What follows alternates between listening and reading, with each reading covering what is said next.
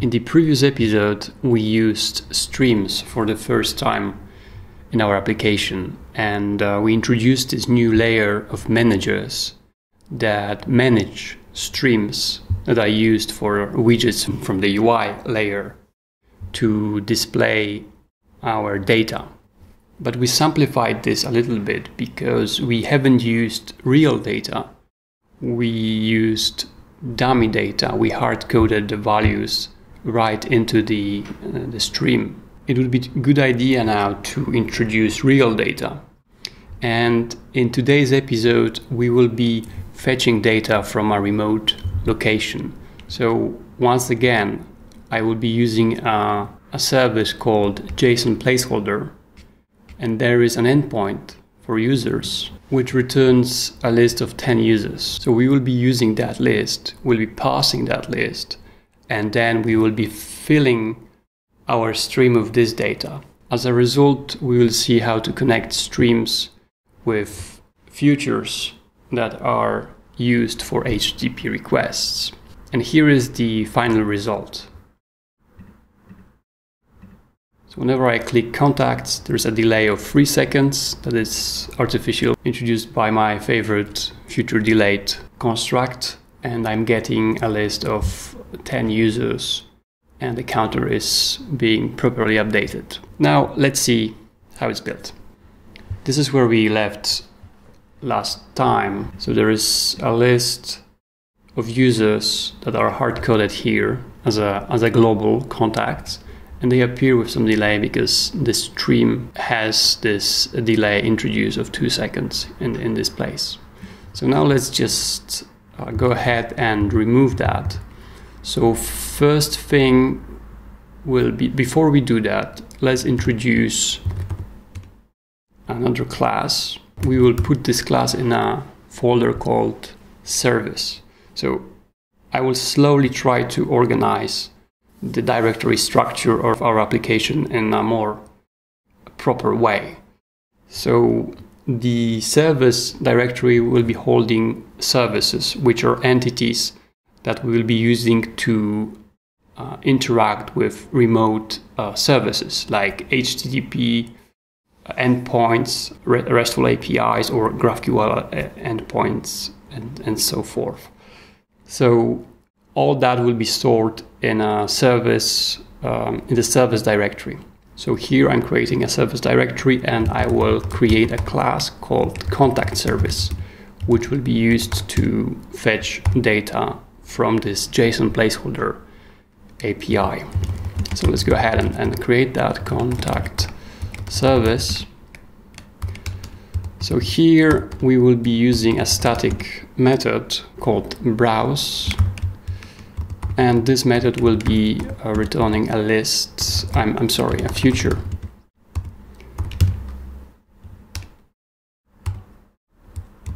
Okay, so now let's go to the API. Let's grab the URL.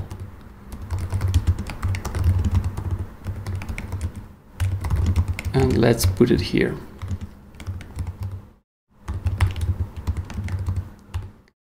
Okay, now here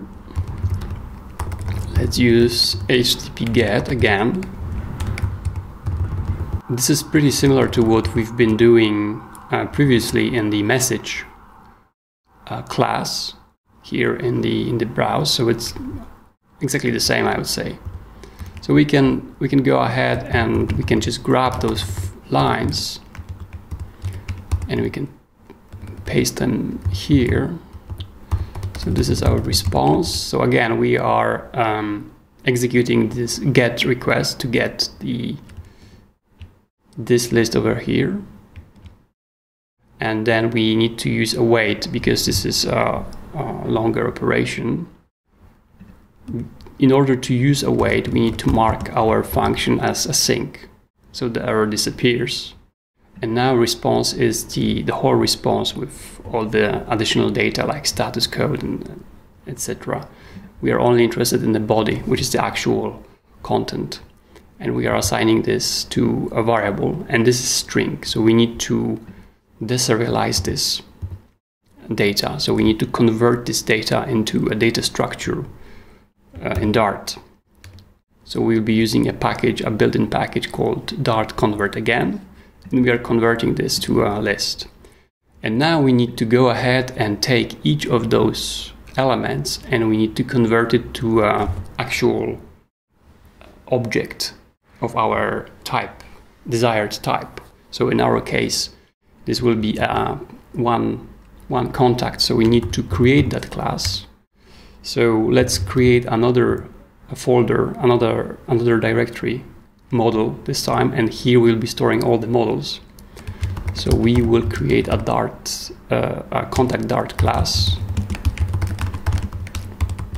And this class will have a name, email, and let's say phone. So this is, I will be grabbing this field, this field, and this field, just those three fields. And now let's use, let's create from JSON. So this method will be taking string dynamic JSON as before, and we will be using this shortcut. And here we will say name equals JSON name, email equals JSON email, and phone JSON phone. I won't be using this automatic conversion because it's a little bit more elaborated. We don't really need that in at this stage. I, we will change that later, but for now it's that's enough. This approach is enough. So now we have this plain object, plain Dart object, and we can use that. So we can change this to list of contacts. Here we will use contacts and here we will use our factory method to convert each item of the collection, which is a map that maps strings to some dynamic data to a instance of contact of this plain Dart object we created here. And finally, we need to return our contacts from this method. And let's do something you shouldn't do in real life, just to quickly test if it works. So let's do contact service browse. I need to use await and let's print. Yeah, it must be lists. So I'm adding this main method at the bottom because I want to run this class uh, from the command line. So now let's run this class to see if we fetch the results. Yeah, we fetch the results. So it works. Let's remove that. Normally you should use uh, tests. So I will be talking about tests in the future episodes, but for now, that's the simplest possible way to testing if it works. So now we have this contact service class ready and it's separated into a layer, into a directory, so we can use it. Let's go now to the, the manager and we can finally remove this global. We can remove this uh, for loop. And now instead of list of strings, we'll be returning list of contacts. So let's import the plain Dart object we created. And here we will yield a result of uh, contact service browse. That's, that's pretty nice syntax. Let's import the service. So yield await the service. So it fetches the results and, and parses them and then yield returns that to the stream. So for those who are a little bit ahead, this is not the optimal way of doing that. We will simplify this in the in the next episode. There is also no uh, error handling here, which is which is bad. But I won't be introducing that right now. I just want to show you the basic way of uh, combining the result of, of a future. I mean the future and the how to integrate that with a, with a stream. So having that here, we need to go back to our UI. So the manager is now uh, updated. We need to update the contacts screen. And here in the place where we display the, uh, the list, we need to now make some adjustments. So first of all, it's no longer a list of strings, it's a list of contacts. That's the first change. The second change is that here we could assign one contact to a variable and here in text we can now access the name. So as you can see, it already displays the proper results. So let's, let's go ahead and add other data we are getting. So for example, email. And works. Okay, so now we can improve it a little bit more. First thing is that we can help out Dart a little bit. So here in, in the async snapshot, we can annotate this variable by saying that this is list of contact. So this way here it will know that this is list of contact. Because if I remove that, it's dynamic. So it's always better to be more explicit. So now if I hover, this is list of contact and all the uh, type, all the types match. So now we are just getting the data from the snapshot and we are displaying it.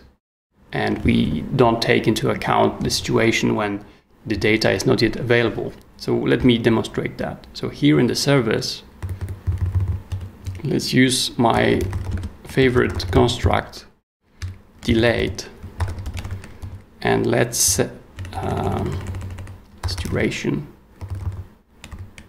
seconds, three seconds. So now if I save that, so now we will wait three seconds for the data to be displayed. So nothing happens in between. So let's fix that. So here in this uh, place where we get the data from the snapshot, we can differentiate between various states for this uh, variable. So let's go to message list.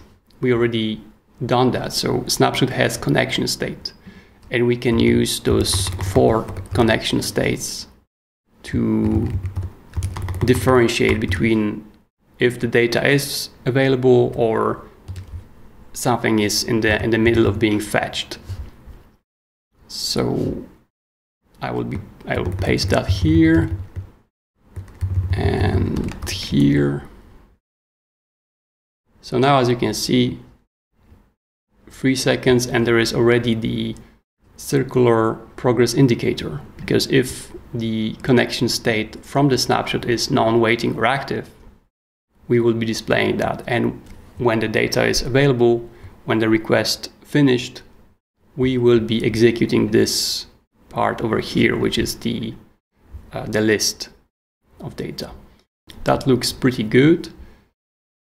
Here we should use int because this is the integer. That's all for today, but before we leave, I will show you my ideal architecture, at least for now. So we will have this layer which we will call view, which is all the UI, uh, all the widgets that uh, that we use are in this in this layer. There is another layer called manager or managers, that holds streams that are used by views to display the data. And finally, we introduced already a part of that today. There's a service layer, which is the layer that is used to fetch data from a remote sources like HTTP endpoints, RESTful APIs, or GraphQL endpoints. And on top of that, we'll be using in future episodes uh, reactive extensions. So this is uh, uh, architecture proposed by Thomas Burkhardt, and I really I fell in love in the, with this architecture. This is called RxVMS. It's a very simple idea. The only difference is that he calls business logic components managers. That's the only difference, and it's nicely nicely separated. So I will be trying to explore that architecture starting from now. And we already did that. See you in the next episode.